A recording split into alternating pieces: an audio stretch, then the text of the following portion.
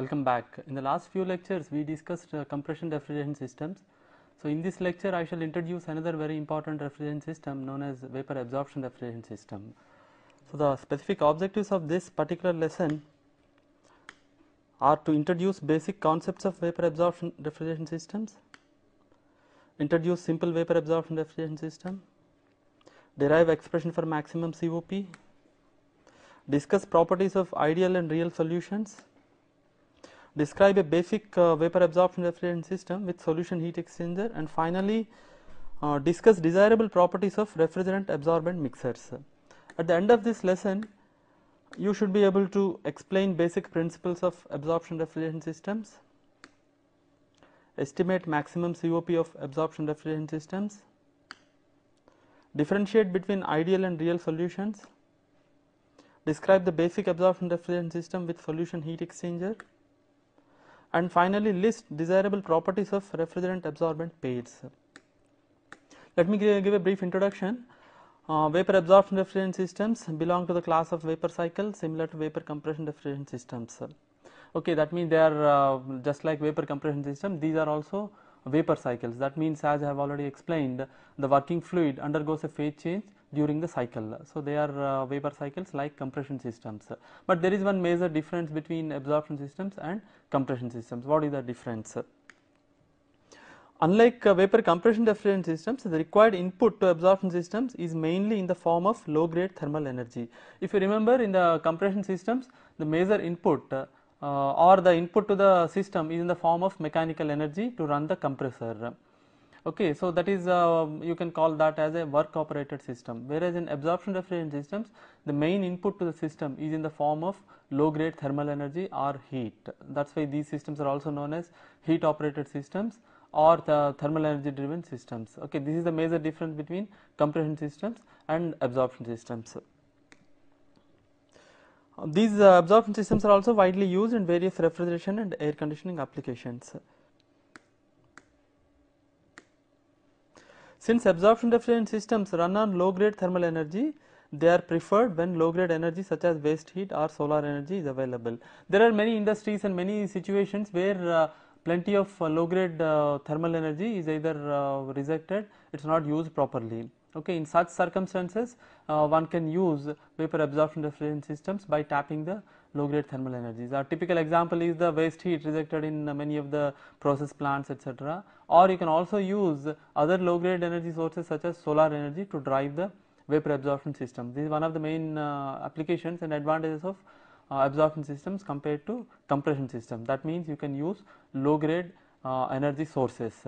Okay. And since uh, the working fluids used in absorption systems are uh, mainly natural working fluids, that means you use either water or ammonia, which are uh, natural refrigerants. These systems are environment friendly. Okay, these are two most important advantages of absorption systems compared to vapor compression refrigerant systems. So, as I said since conventional absorption systems use natural refrigerants such as water or ammonia they are environment friendly. Now, let us look at some basic concepts. The first uh, basic concept is that when a solute for example such as a lithium bromide salt is dissolved in a solvent uh, for example water the boiling point of the solution is elevated. Okay. This, uh, this you can also state in another uh, way uh, for example, if you are keeping the um, temperature constant and if you are dissolving the solute in a solvent, then the effect of this uh, dissolving is to reduce the vapor pressure of the solvent below that of its saturation pressure at that temperature. This is the basic concept uh, based on which the absorption systems have been built. Okay. So, now let us look at uh, the most uh, basic uh, absorption system. Um, in a basic absorption system, refrigeration is obtained by connecting two vessels with one vessel containing pure solvent. So, we call it as refrigerant and the other containing a solution which is a mixture of refrigerant plus absorbent. At equilibrium, the temperature of the solution will be higher than that of the pure refrigerant. When the pressures are same, obviously as I have mentioned already, the temperature of the solution will be higher than that of the uh, so, so pure solvent. And if the solution is at ambient temperature obviously the solvent that means the refrigerant will be at a temperature lower than the ambient. That means there is a temperature difference between the ambient and the solvent So, this is the temperature difference using which you can produce a refrigeration effect. So, this is the basic principle. Now, let me explain this uh, with this schematic.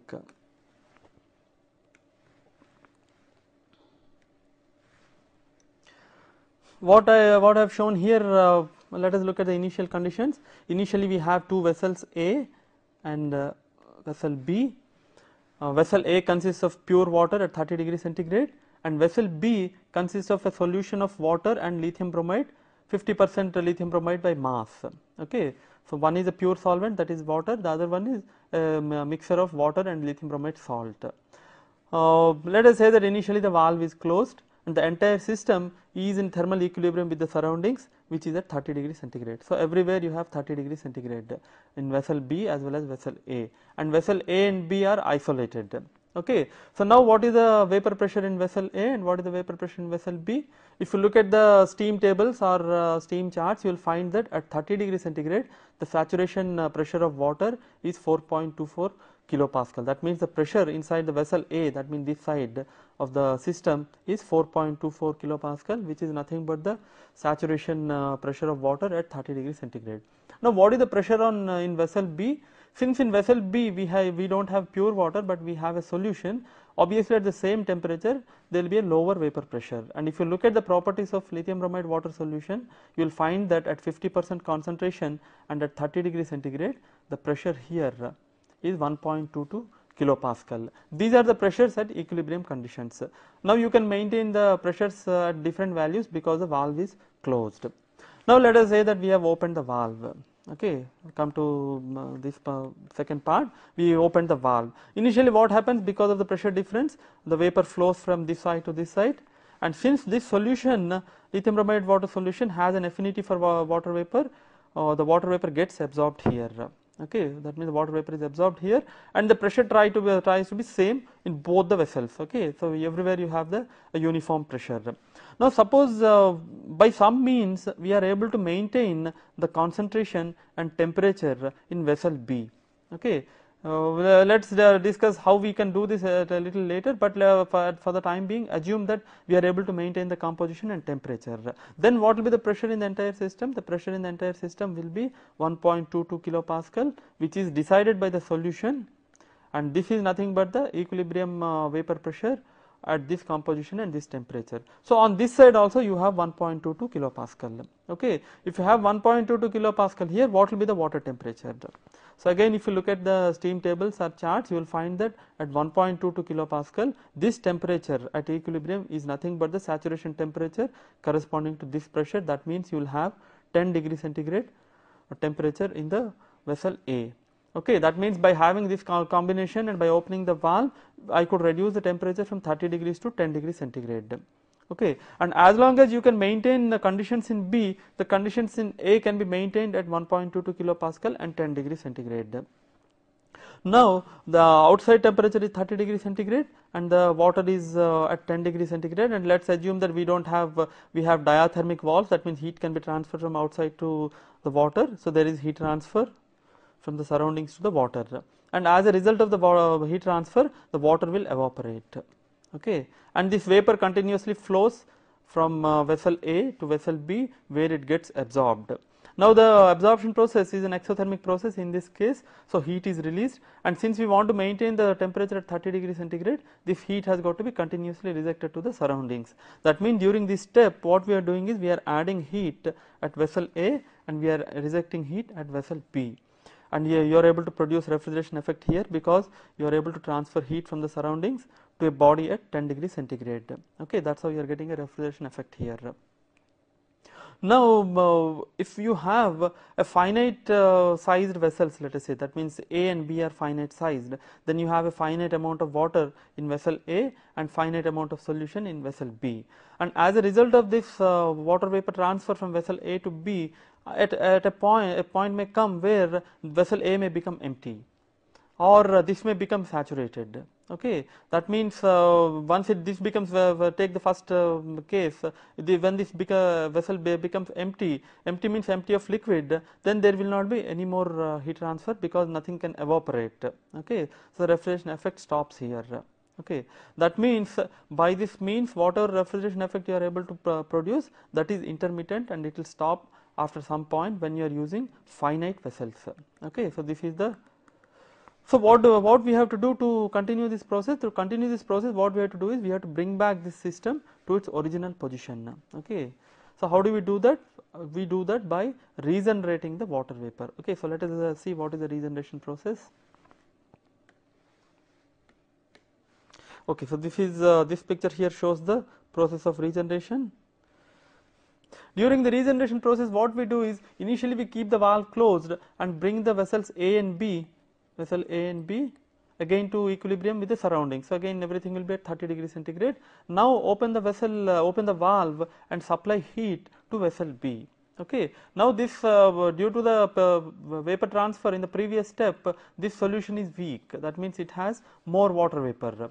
Okay. So, when you are supplying heat at a particular temperature Tg okay, when you are supplying uh, heat then water is generated at this point. And this water vapor uh, flows from this side to this side. And if you are able to keep this at 30 degree centigrade then the water water vapor is coming here. It will condense uh, at this pressure and at this temperature. Since this is a an exothermic process heat of condensation is rejected to the surroundings. Okay? That means during the regeneration process what we are doing? We are supplying heat at a high temperature Tc to the solution so that vapor is generated and this vapor comes to the solvent side and it condenses by rejecting heat of condensation okay. So, you are transferring the you are reversing the process and you are transferring water from the solution to the uh, pure solvent side okay. This process will continue till you get the required amount of water on this side okay. Then to complete the process again you have to close the valve and bring these both the vessels to equilibrium with the surroundings at 30 degree centigrade. So, the process continues. Okay. So, one thing you can notice here is we have three temperatures here. One is the Tg which is nothing but the temperature at which heat is supplied to the solution for regeneration. Okay. Let us call that as generator temperature Tg. Okay. And we have another temperature called the heat sink temperature. That means the temperature at which heat is rejected during absorption process and during the condensation process. Okay. T naught. And finally we have the refrigeration temperature Te okay? This is the temperature at which refrigeration is produced. Obviously Tg is greater than T naught is greater than TE okay? This uh, uh, relation holds good. And now how do we decide the uh, what should be this temperature and how much heat has to be supplied and all? That depends upon the the temperatures for example the amounts of heat transferred. These dep depend upon the properties of solution and the refrigerant and also the operating conditions okay. So this is the basic uh, principle of uh, a very simple uh, vapor absorption refrigerant system. Okay. So to summarize what we have done is we have taken two vessels. In one, one vessel we have kept pure solvent. And the other vessel we have a solution. Okay. So, by manipula manipulating the pressures inside by supplying heat or by rejecting heat we could transfer vapor from the pure uh, refrigerant side to the solution side during the refrigeration process and from the solution side to the refriger refrigerant side during the regeneration process. Okay. And uh, during this uh, uh entire process we could get uh, refrigeration effect during one step and we have to supply uh, heat at high temperature during the regeneration process and heat is rejected um, in both the processes of refrigeration and regeneration. Okay. So, this is an intermittent system that means you are not able to get refrigeration continuously. Okay. So, you call this as an intermittent absorption refrigeration system. Okay.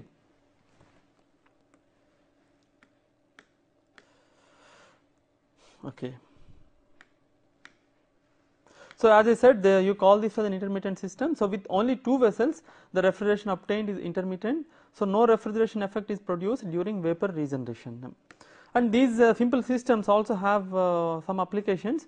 They can be used to provide refrigeration using renewable energy such as solar energy. For example, you would like to produce refrigeration using solar energy.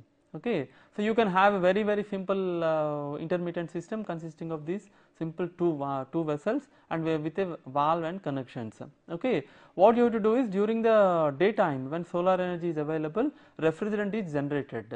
Okay and it is stored as pure refrigerant. Okay during the daytime the, the it is the process of regeneration. And during night time what happens is surroundings become cool okay then the process gets reversed because, because the solution becomes cool. So the refrigerant in the vessel pure uh, refrigerant vessel can boil by taking heat from the surroundings okay that means you get refrigeration effect during the night and you have to regenerate the refrigerant during the daytime. Such systems are very very uh, good for uh, very remote and rural areas where uh, you do not have any electrical electricity supply or you want a system which is independent of your grid power. Okay. Such systems have been built and they, are, they have been used quite successfully in many remote areas. Okay. So, they are known as intermittent absorption refrigeration systems. But in practice uh, in most of the applications we require a continuous refrigeration okay? When when you want a refrigeration continuously obviously you cannot use this simple system with two vessels so you have to do certain modifications. So this brings us to a basic vapor absorption refrigerant system for continuous output. So continuous refrigeration can be obtained with a modified system consisting of two pairs of vessels and additional components such as expansion valves and solution pump. So, you have to have first thing is two pairs of vessels that means you will have 4 vessels. In addition to that you also have to have some additional components such as expansion valves and a solution pump. These systems are similar to compression systems uh, that means uh, you get uh, continuous output just like a vapor compression system, but there are uh, two uh, major differences. The major difference is uh, the way the vapor is compressed. In a mechanical, uh, it is mechanical compression in vapor compression refrigerant system that means you use mechanical energy, supply the mechanical energy to the compressor and compress the vapor mechanically. Okay. So, you call uh, these systems are mechanical compression systems. Okay. And uh, in case of absorption systems, you can call that as thermal compression. Okay. If you compress the vapor thermally. Now, let me explain uh, the basic system. Okay. So, here you have uh, the basic vapor absorption refrigerant system. So, you have uh, a condenser, an expansion device and an evaporator just like a vapor compression system. The only difference between uh, vapor compression system and vapor absorption system lies in the way in which you have compressed the vapor from the evaporator that means what happens from this point onwards. Okay. So, in vapor compression system what is done this low pressure low temperature vapor is compressed mechanically. Okay mechanically it is compressed to high pressure so that it can reject heat in the condenser to the external heat sink and it can uh, condense and become a liquid. Okay. So, you call this system as I said as a mechanical compression system, whereas you can see that in vapor absorption system you do not have a compressor. Okay. In place of a single component compressor you have 4 components, one is generator, absorber, expansion device and a solution pump. Okay. So, the combination of uh, uh, these 4 components replace the compressor of a vapor compression system. Okay. So, now let me explain the working principle. Let us start again from uh, the point at the outlet of the evaporator we have low temperature low pressure vapor at this point. Okay. It goes to the absorber. In the absorber this uh, refrigerant vapor comes in contact with uh, the solution that is coming from the generator that means this solution which is weaker in refrigerant. Okay this is weak in refrigerant. When this solution is weak in refrigerant it has the uh, potential to absorb the uh, refrigerant vapor. Okay so when this uh, refrigerant vapor comes in contact with this uh, weak solution then uh, the vapor gets absorbed.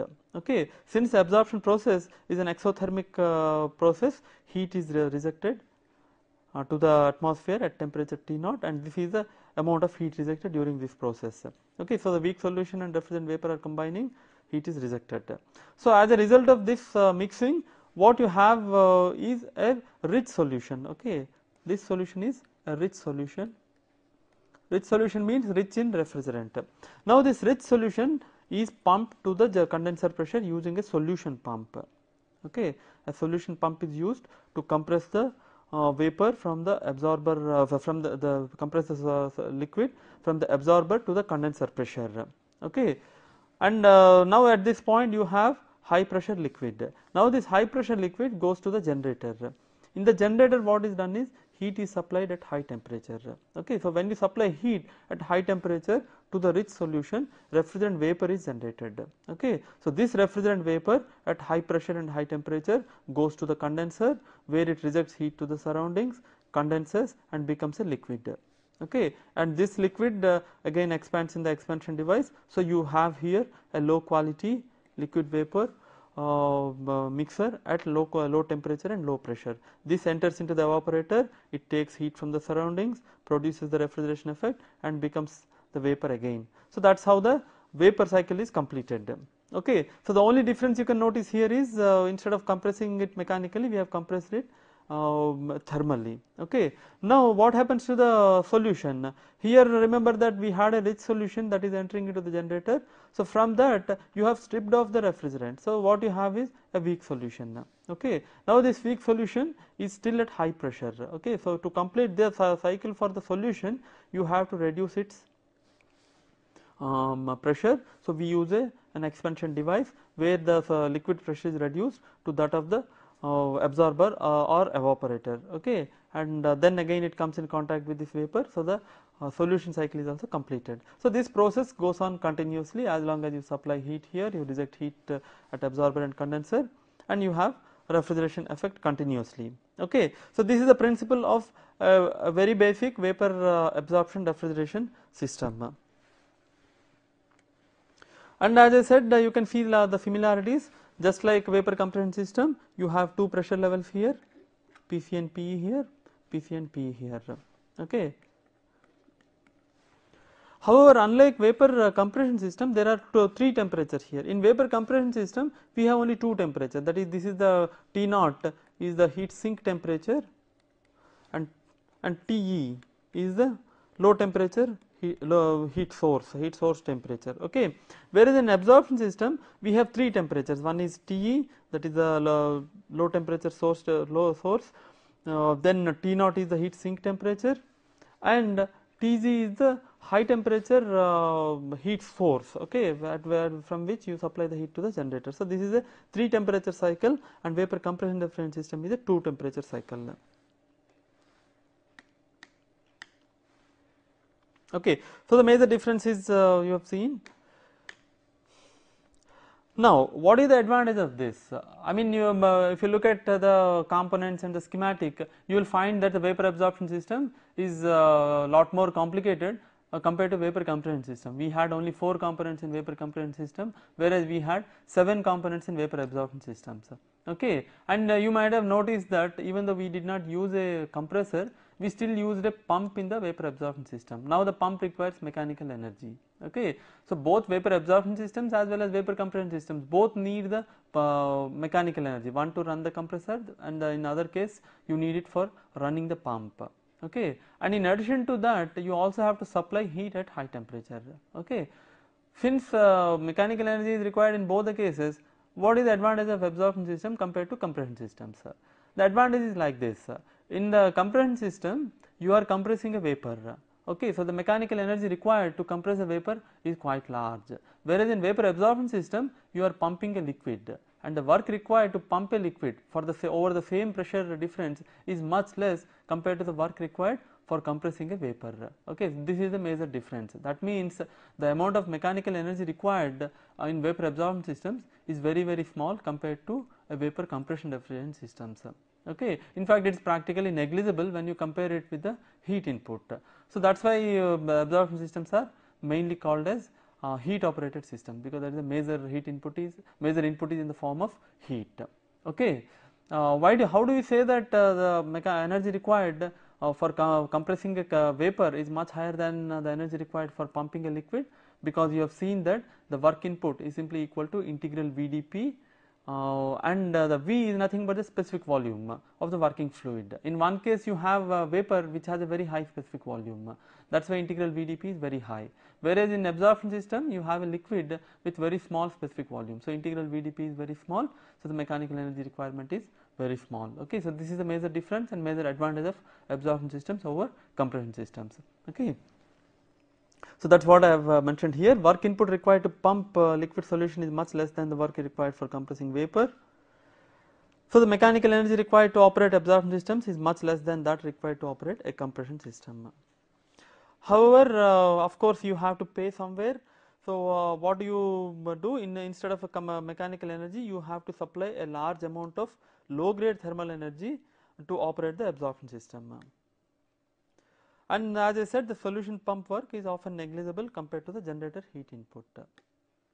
So, if you are uh, defining COPs just like the compression system you can see that the COP of a compression system is defined as the refrigeration uh, capacity divided by the power input of the compressor WC whereas the COP of vapor absorption system you have two, two inputs and one output, output is QE, input is the heat input uh, QG plus work input WP and as I have said WP is negligible compared to QG. So, COP of absorption refrigeration system is almost equal to QE by QG only that means uh, refrigeration capacity divided by the heat input to the generator ok. So, this is the major difference between again compression and absorption systems in terms of COPs. Since uh, vapor absorption refrigerant system uses uh, low grade energy as input, the COP of uh, absorption system is generally much smaller than COP of compression refrigerant system. Obviously, uh, if you are, uh, Uh, I mean if you are comparing the COPs, uh, you get much higher COPs in case of uh, compression systems, okay, because the quality of the energy that you are supplying to the system is much higher, okay, work is a high grade energy compared to heat, okay, so the COPs are larger okay. But of course, uh, comparing the systems based on uh, COPs, you can call also call the COP as the first law efficiency. Uh, comparing the efficiencies based on COPs is not really justified always because the quality is different and the cost is also different. Okay, that means uh, comparing systems based on COPs is not fully justified as mechanical energy is more expensive than thermal energy. Hence, sometimes uh, what we do is we define what is known as a second law or exergetic efficiency to compare different refrigeration systems. And you will find that the second law efficiency of absorption system is of the same order as that of a compression system. Okay, that means if you are comparing the uh, two systems based on COPs, uh, then absorption system is definitely uh, bad because you get very low COP. But as I said, uh, since the numer numerator and denominator are of different qualities, uh, if you want to get the real picture you must convert them into the same quantity okay that means you have to convert uh, the numerator and denominator in expression for COP into exergy let us say. Then you get what is known as second law efficiency or exergetic efficiency. When you are doing this you will find that the COP of absorb I am sorry the exergetic efficiency of absorption system is almost same as that of a compression system. Okay so it does not look so bad when you are looking at the exergetic um, efficiency. Okay. Uh, this uh, you can also justify this in another way. For example, when you are uh, talking about the COP of a compression system, uh, what is the input? Input is the work uh, mechanical energy. Okay, most of the times the mechanical energy is uh, derived from the electrical energy. That means you to run a compressor, you you supply the electrical energy. Okay, and how do you get the electrical energy? Electrical energy is generated, let us say, in a thermal power plant. Okay, and typical efficiency of a thermal power plant could be about 40 percent you are not really taking that efficiency into account when you are calculating the COP of the vapor compression system. Okay, if you take that efficiency also into account, you will find that uh, compression systems are not um, so efficient compared to uh, vapor absorption systems, or in other words, both are equally good or bad. Okay. Now, uh, when we discuss vapor compression refrigerant systems, how if you remember how did we begin? We began with a, an ideal cycle. Okay, first we have defined an ideal cycle and we found what is the maximum possible COP uh, of this uh, cycle. That means uh, we, we found uh, the maximum possible COP of a compression system. Okay, and if you remember, uh, it it was the Carnot COP. Okay, that means uh, the reverse Carnot cycle gives the maximum COP. So first we obtained the expression for uh, the COP of a reverse Carnot cycle and then we obtain the expressions for the uh, COPs for the real cycles. Okay. Uh, and if you remember I said that the objective of this is to compare how good is the actual cycle with the best possible or with the ideal cycle. Okay. So, in case of absorption systems also let us first look at what is the maximum possible COP. Okay. Uh, then we will move on to the actual systems. So, as I said for compression refrigerant system the maximum COP is given by Carnot COP and Carnot COP if you remember is simply given by TE divided by TC minus TE where TE and TC are evaporator and condenser temperatures. However, in uh, simple absorption refrigerant system we have 3 temperatures. So, when you have 3 temperature levels how do you get the uh, maximum COP? Okay. Um, one thing is uh, for sure that uh, the COP will be maximum when the system is totally reversible. That means when you have an ideal vapor absorption refrigerant system where uh, it is uh, reversible internally as well as externally. Okay, that means a totally reversible system. So, the COP of ideal vapor absorption efficient system can be obtained by applying first and second laws of thermodynamics. Okay. So, what we do is we uh, take a ideal uh, system and then you apply the first and second laws of thermodynamics. Let me show how we can do this. Okay, what I have uh, shown here is the basic vapor absorption efficient system. This is the absorption efficient system which is operating in a cyclic manner. Okay, you can see the cycle. And here we have three temperatures as I said generator temperature, evaporator temperature and the heat sink temperature. And uh, this figure also shows various energy uh, flows. Okay, for example, you take uh, high temperature heat input QG to the system uh, near the generator and uh, this system takes low temperature heat input QE at refrigeration temperature TE and it rejects heat to the heat sink and heat rejection takes place at the absorber QA plus condenser QC. Okay. So, heat rejected is QA plus QC whereas heat input is QG and QE. QG is at the generator and QE is at the evaporator. In addition to that we also supply uh, mechanical energy to run the pump okay WP. So, these are the total uh, energy flows in a simple vapor absorption efficient system. So, if you apply first law of thermodynamics what is the first law of thermodynamics if you remember simply we have okay and for the cycle uh, the net energy change is 0 because the working fluid is undergoing a cyclic process okay. So, what is the energy change uh, uh, cyclic energy change you can simply write this as QE plus QG minus QC plus A. QC plus A is nothing but QC plus QA, okay. Plus WP is 0. This is nothing but this expression, where as I said uh, QE and QG are positive because you are supplying them to the system. This is negative because this is the heat rejected from the system and uh, uh, work input required for the pump is also positive because that is also supplied okay? So whatever is supplied to the system is positive and whatever is rejected from the system is negative okay? So this is how you get the first law of thermodynamics. Very simple energy balance. Now what is the second law of thermodynamics? We write the second law of thermodynamics in uh, the form of entropy change. And if you remember the second law of thermodynamics says that the total entropy change that means entropy change of the system plus surroundings will always be greater than or equal to 0 and this equal sign is for completely reversible uh, if everything is uh, reversible and the greater than is for irreversible uh, systems okay. So, this is the second law of thermodynamics right. Now, let us write uh, expressions for uh, delta surroundings in terms of QE, QG and QC. Now, what is the entropy change of the system? Obviously, entropy change of the system is 0 right. So, delta S system is 0 because the working fluid is undergoing a cyclic process. Okay, for delta S uh, system is 0 right. That means uh, ultimately the second law of thermodynamics uh, when you apply to this uh, simply becomes delta S total is equal to delta S surrounding which is greater than or equal to 0. Okay. Now, uh, as I said uh, delta S system is 0 because the system undergoes a cyclic process. Okay. Now, we write uh, the expression for delta S uh, surroundings. Surroundings means we have three temperature uh, reservoirs. One is a low temperature reservoir at TE, the other one is at high temperature reservoir at Tg and this is the medium temperature heat sink at T naught. Okay. And what is the entropy change of uh, these reservoirs?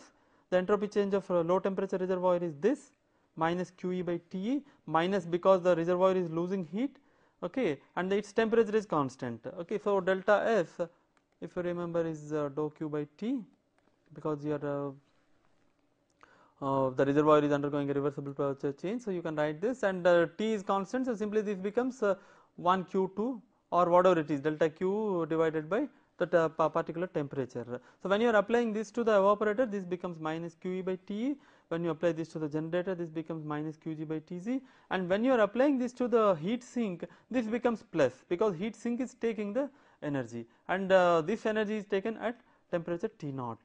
Okay, so, this is the expression for the entropy change of the surroundings. Okay. Now, you combine the first and second laws, so you get this expression. Okay uh, this expression relates the QG and QE.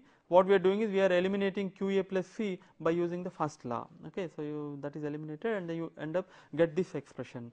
Now, if you are neglecting pump work, okay, that means you are neglecting pump work, and if you define COP as we have seen, COP is equal to QE divided by QG. Okay. You will find that from this expression COP of a vapor absorbed refrigerant system is given by this expression. Okay. That means always less than or equal to TE divided by T naught minus TE into Tg minus T naught by Tg, where remember that Tg is the generator temperature which is the highest uh, temperature in the cycle, uh, T naught is the heat sink temperature and T is the lowest temperature of the evaporator. Okay.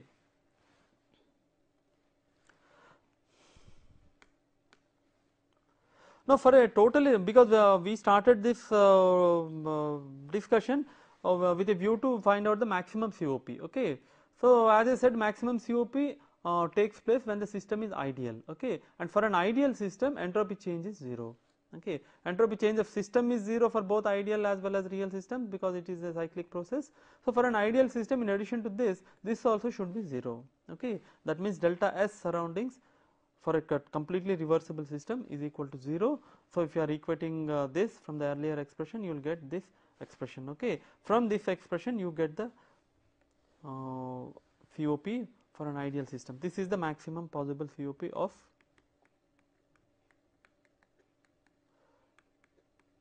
okay of any vapor absorption refrigerant system operating between three temperatures TE, T naught and Tg.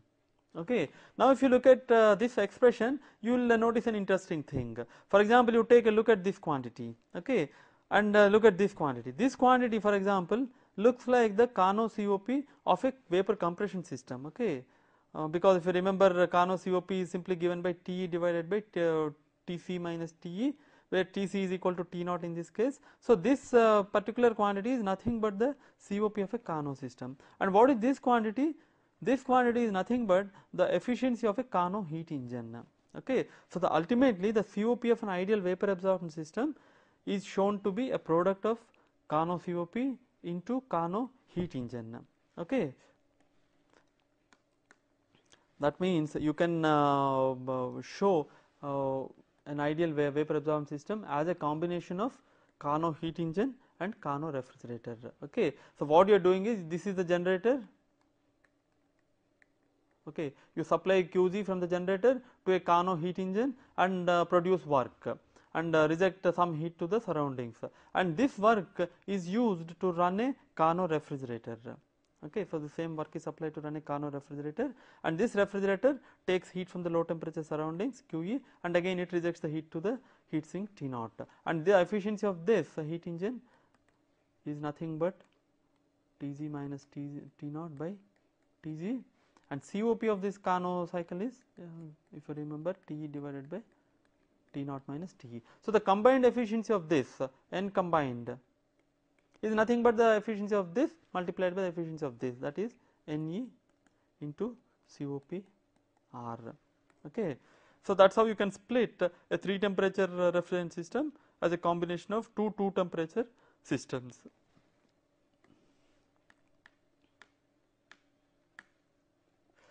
So, you can see that uh, so from this you can uh, easily uh, infer that the COP of an ideal vapor absorption system increases as evaporator temperature increases, as generator temperature increases and heat sink temperature decreases.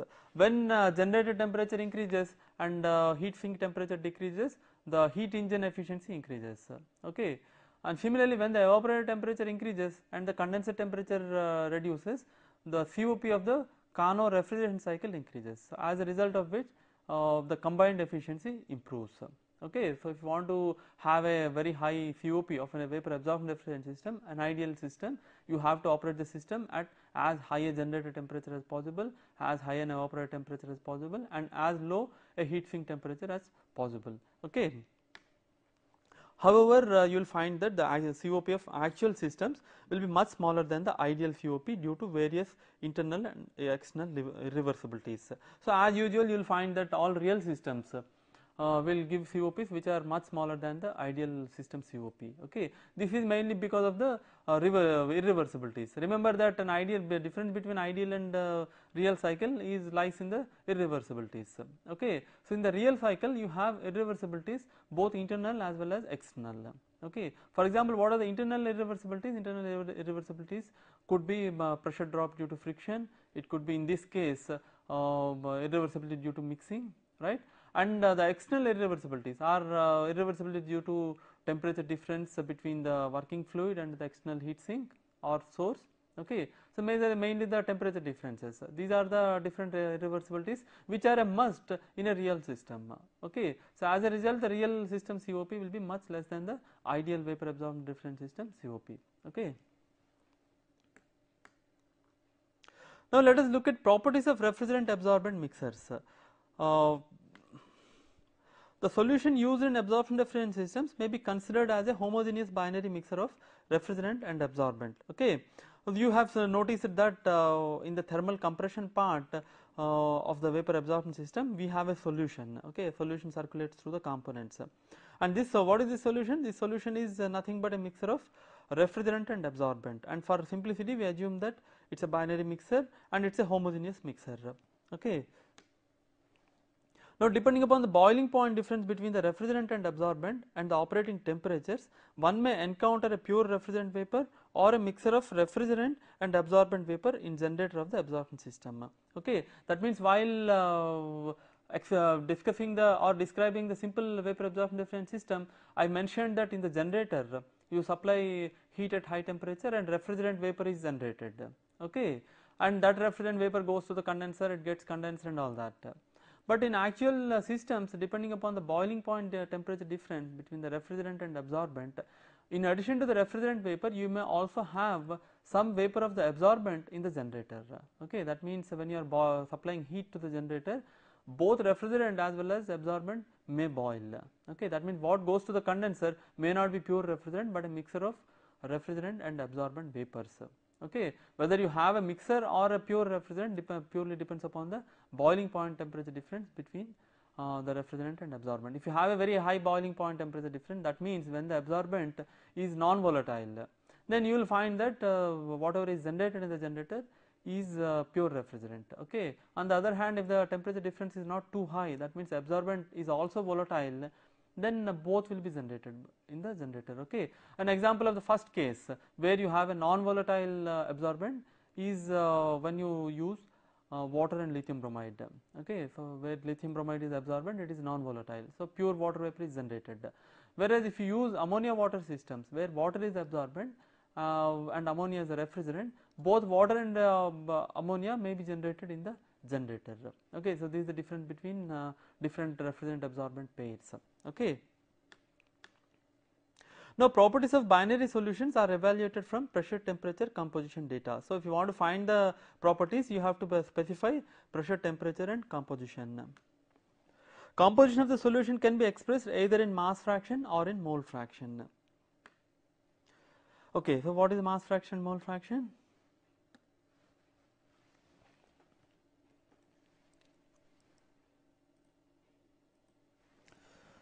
So, mass fraction is uh, defined as uh, okay mass fraction is also sometimes called as concentration. Concentration of component 1 so I1 is simply defined as the mass of uh, that particular component divided by the total mass of the solution. Okay that means m1 divided by m1 plus m2 similarly uh, mass fraction or concentration of component 2 is nothing but mass of that component in the solution m2 divided by the total mass of the solution. Okay m1 and m2 are mass of component 1 and 2 so, for a binary uh, system you can very easily show that uh, xi1 plus xi2 is equal to 1 from the above expression that means xi2 is equal to 1 minus xi1 okay. So, if you know the composition of one component the composition of the other component can be easily obtained okay. Now, the composition in terms of mole fraction so instead of talking about uh, masses we talk about the number of moles. So, mole fraction of component 1 is nothing but the ratio of number of moles of component 1 divided by the total number of moles of component 1 and 2 in the solution. Okay. Similarly, mole fraction of 2 x 2 is given by n 2 divided by n 1 plus n 2 where n 1 and n 2 are number of moles of components 1 and 2. Okay. Just like uh, the mass fraction uh, it can be very easily shown, shown that x 1 plus x 2 is equal to 1 or x 2 is equal to 1 minus x 1. And very another very important property as far as refrigerant absorbent uh, pairs are concerned is what is known as miscibility. Okay, and miscibility is an important property and it depends upon the operating conditions. That means under certain operating conditions a refrigerant absorbent pair may not be uh, very highly miscible whereas at other conditions they may be highly miscible. Okay, so it depends upon the operating conditions. And generally refrigerant absorbent pairs must be completely miscible both in liquid as well as vapor phases. So that is how you choose the pairs so that uh, they get mixed completely and you get a homogeneous mixer.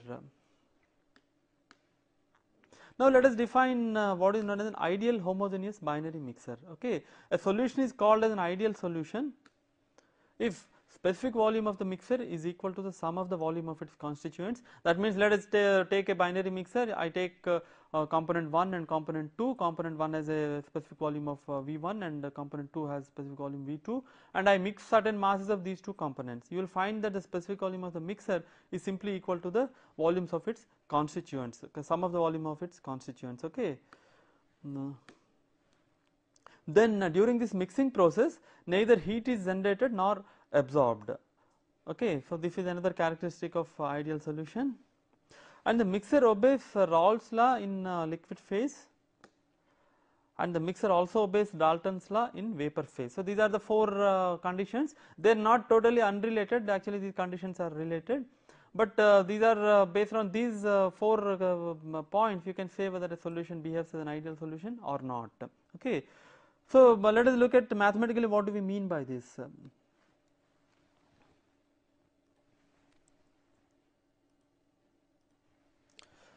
So, uh, condition 1, condition 1 as I mentioned uh, uh, the solution of the specific volume of the solution should be simply equal to the sum, uh, sum total of the specific volumes of the uh, components. Okay. So, this is the mass fraction of component 1 and this is specific volume of component 1, this is the mass fraction of component 2, this is specific volume of comp uh, component 2. Okay. So, the specific volume of the mixer is simply equal to this.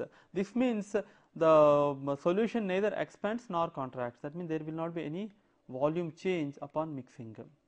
Okay, so this is for, for condition 1 and condition 2 the specific enthalpy. Okay, since the no heat is released or absorbed it can be very easily shown that the specific enthalpy of the solution is simply equal to the weighted average uh, enthalpies of component 1 and component 2. Okay, xi 1 and xi 2 as I said are mass fractions H 1 and H 2 are the specific enthalpies of component 1 and 2 at that particular temperature and pressure. Okay. So, the same thing can be written in this form okay, because xi 1 xi 2 is equal to 1 minus xi 1. This is the condition the second condition and what is Raoult's law? Raoult's law says that for an ideal solution the vapor pressure exerted by component 1 is simply equal to the product of its liquid phase mole fraction x1 x1 is equal to liquid phase mole fraction okay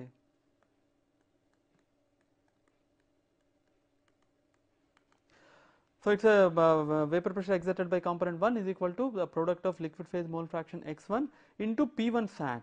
What is P1 sat? P1 sat is nothing but the saturated pressure of uh, the, this uh, component 1 at that particular temperature T.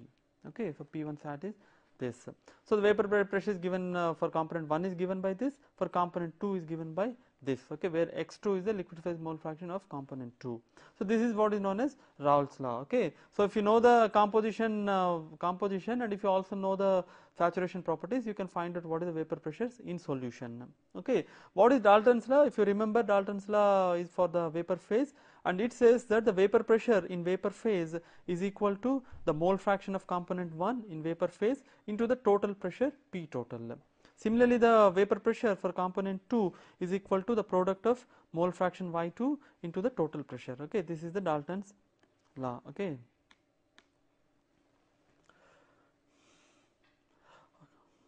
So, you can uh, easily show that the vapor phase mole fractions y1 and y2 are related by this expression y1 plus y2 is equal to 1 just like your liquid phase mole fraction. So, y2 is y1 minus y1 and the total pressure total pressure is nothing but the sum total of the pressures exerted by component 1 plus component 2 okay pv1 plus pv2 suppose if you have a component uh, which is non volatile let us